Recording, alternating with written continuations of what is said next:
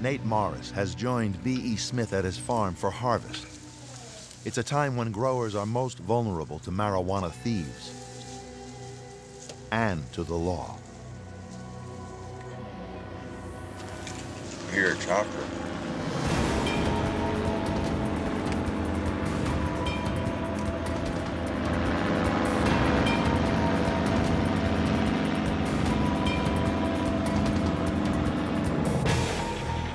While investigating the suspect vehicle, You ready? Got it straight down there? Lieutenant Matt Thompson spots a large grow. Good healthy plants. And they were pretty good size.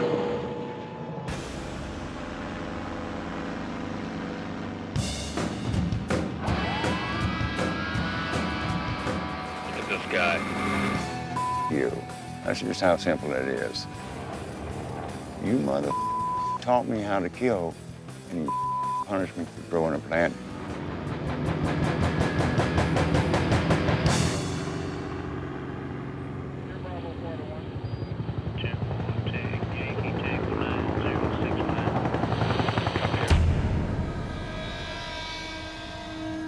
Nineteen sixty-three to nineteen sixty-nine. I fought in the military in Vietnam. They sent me as a well-trained soldier to Vietnam to kill human beings. I did a damn good job.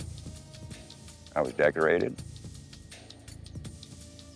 I was promoted very quickly.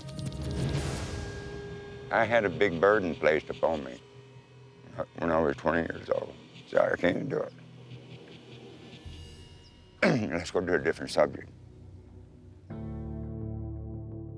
B.E. came home from the war with post-traumatic stress disorder and fled to the mountains to escape the horrible memories. When I got back from Vietnam, I smoked my first joint, and I knew I found my, my drug. And I'm talking using it as medicine for my uh, disability. Home from one conflict, B.E. found himself on the losing side of another. This blows my mind.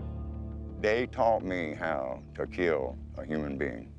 And then when I came home, I drew a, a plan, and they throw me in prison. I've spent over half my life fighting in wars. I'm still be in a war when it comes to cannabis forever.